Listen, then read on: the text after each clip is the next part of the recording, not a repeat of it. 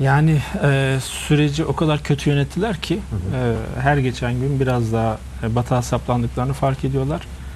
E, bu süreci yöneter yönetirken e, çok önemli ortakları Amerika Birleşik Devletleri Başkanı'ndan gelen açıklamalar da aslında e, Suudi Arabistan prensini, veliaht prensini kurtarmaya yönelik açıklamalar olması gerekirken yani Amerika Birleşik Devletleri'nin belki niyeti o, Trump'ın Hı hı, niyeti. hı hı.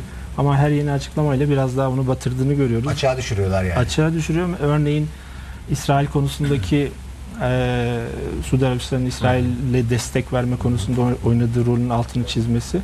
Bunlar hep e, Suudi Arabistan açısından aslında bölgede negatif e, yani imajına negatif etki yapacak şeyler, faktörler. O yüzden bu süreci yönetmek konusundaki o başarısızlıklar, beceriksizlikler e, aslında şimdi biraz e, imajını düzeltme konusunda yeni adımlar atma ihtiyacı hissetmiş gözüküyor. E, bu çerçevede Türkiye'yi yanına çekme gayreti ama ben bu e, bu konuda Türkiye'yi yanına çekme konusunda e, Türkiye'nin beklediği bir takım şeyler var biliyoruz bu soruşturma konusunda. Her şeyden önce soruşturmanın doğru bir şekilde Evet. yürütülmesini, Evet.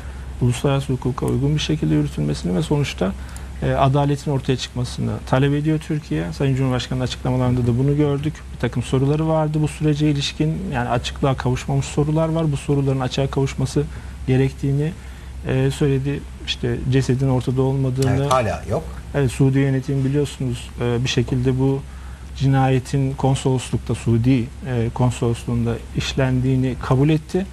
Ama cesede ilişkin e, herhangi bir açıklama söz konusu değil. E, büyük ihtimalle cesedin nerede olduğunu da biliyorlar ama bu konuda açıklama Evet. söz konusu Evet. değil. Tabii öldüren onu da biliyordur yani. E, mutlaka Yani biliyordur. ihtimalle. mutlaka biliyordur.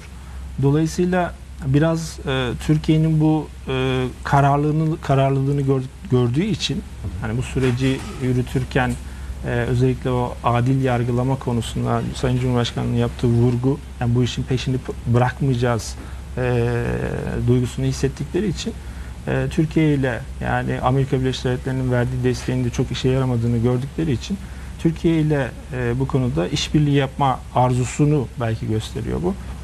Yani doğrudan e, meseleyle alakalı boyutu bu. Ama onun ötesinde e, bu meselenin bizim bahsettiğimiz panellerimizde de o yönü de çok konuşuldu.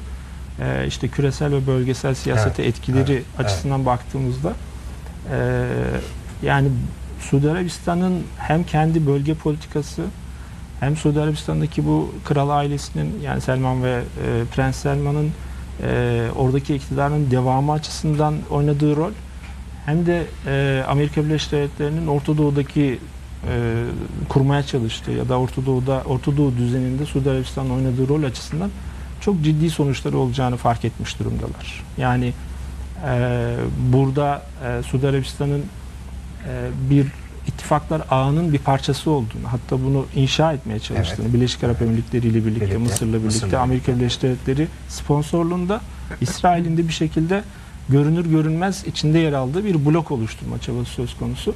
E, tam da bu Kaşıkçı meselesinden dolayı o bloğun e, bir şekilde e, zarar gördüğünü hissediyorlar, fark ediyorlar. E, dolayısıyla bu bloğu da kurtar yani Trump'tan gelen açıklamalarda aynı şeyi söylüyor aslında. Şimdi e, Prens Selman'ın e, bahsettiğiniz o Türkiye yönelik çıkışı da e, Evet. ya da açılımı da aynı şeyi söylüyor. E, bu bloğu kurtarmaya çalışıyor. Ama bu samimi bir çaba mıdır, değil midir? Bunu nerede görebiliriz? E, bu blokta e, Türkiye'nin ya bu blo bu bloğun e, karşısında olan ülkelerden birisi yani Prens Selman'ın bazı açıklamalarından bunu biliyoruz. Mısır'da yaptığı bir açıklama Evet. vardı. Sonra e, onu inkar ettiler ama işte Türkiye, İran ve Katar'ı işte e, bir tür İhvan. Türkiye e, ihvana İhvana- İhvan hareketini de Katar'ı da katmışlardı. E, bir, bir tür şer ekseninin parçası olarak gördüklerini söylemişti. Sonra bunu inkar etti ama yani tam da aslında o blok e, bölgede sadece İran'ın ve Katar'ın etkisinin sınırlandırılması değil, Türkiye'yi de hedef alan bir bloktu. Şimdi e, şuna karar vermeleri gerekiyor. Yani bu e, işte sizin söylediğiniz o ifadelerine bakarsak yani ben e, prens olduğum müddetçe, Selman kral olduğum Kral. müddetçe, e, Sayın Erdoğan Türkiye'nin başında olduğu müddetçe sürece- bizim aramızı kimse bozamaz. Bu açıklama ne demek? Yani şimdiye kadar politikasına baktığımızda Suudi Arabistan'ın Birleşik Arap Emirlikleri ile birlikte az önce söylediğim diğer ülkelerin de katılımıyla politikasına baktığımızda e, Türkiye konusunda hiç dostça olmayan adımları Evet. olduğunu gördük. Evet. Yani özellikle Birleşik Arap Emirlikleri'nin çok hiç dostça olmayan adımları olduğunu gördük. E, hatta e, Türkiye'de söz konusu olan 15 Temmuz darbe girişiminde de e, bunlara yönelik ciddi e, ipuçlarının buraya doğru gittiğini Evet, de e, evet, destekledikleri çünkü Mısır'daki darbeyi destekledikleri gibi Doğrudan aslında hatta Türkiye'deki darbeye de bir destek verme çabası olduğunu gördük.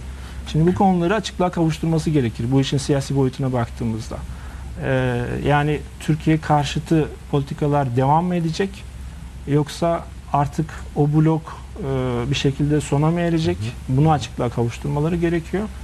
Ee, o yüzden hani bu açıklamalarında samimi midir? Çünkü açıklamaya baktığımızda Suudi Arabistan Türkiye ile çok iyi ilişkilerin sahibi olduğu ve bu iyi ilişkilerin de devam edeceği yönünde bir iddia söz konusu. Ee, gerçek bunu göstermiyor. Suudi Arabistan maalesef e, Amerika Birleşik Devletleri'nde kotarılan, pişirilen bir politikanın bölgedeki uygulayıcılarından birisi haline geldi ve bölgede gerçekten bölücü bir rol oynuyor. Yani Orta Doğu'yu bölen bir e, rol oynuyor. E, buna son mu verecek? İşte ben bence e, Prens Selman'ın e, buna açıklık e, getirmesi, buna açıklığa kavuşturması gerekiyor.